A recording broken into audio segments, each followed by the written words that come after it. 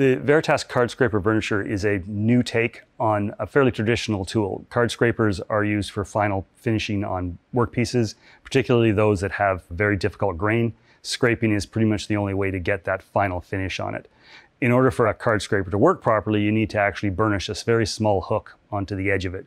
What tends to happen with people who are new to it is that they will use a traditional style of burnisher and they'll overforce the hook. They'll either bend it too far or they'll make it too large.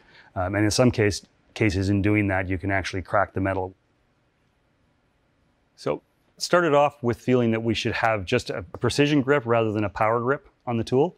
Typically, these burnishing tools have a fairly large handle, so you're really getting a, a good hard grip on it, which is counterintuitive to what you really want as far as having a precise feel to what you're doing to the edge of the, of the metal.